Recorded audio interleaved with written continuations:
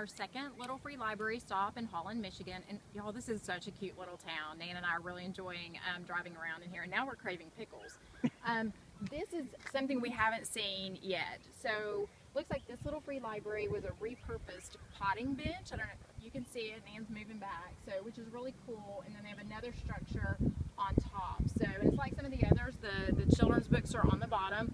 The adults books are on the top. So you'll see some Jodi Picoult, Danielle Steel, uh, Janet Evanovich. So they've got um, a really nice selection of literary fiction. So it'd be nice to put some genre fiction in here. So I think I'm going to pull this um, this Jodi Picoult book. Ooh, almost dropped ours. And what else, Nan? Oh, how about the Girls of August? All right, we'll pull that. So we'll take those on to another one. But um, so we're putting the two that we just pulled from the other Little Free Library.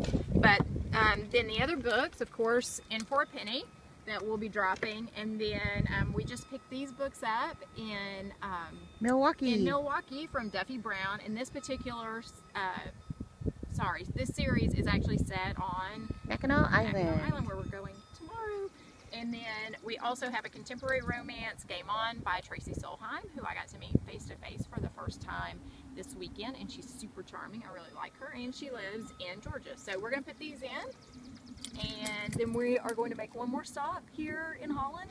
Is Mhm. that right? And then Yep. we're going to head on toward Grand Rapids. So sorry, I'm- I think we might start another little section here. How about that? That sounds good. Okay, y'all, hang on, and uh, we'll give you one more one more stop Yep. before we leave Holland. All right. See ya. Later, y'all. Bye.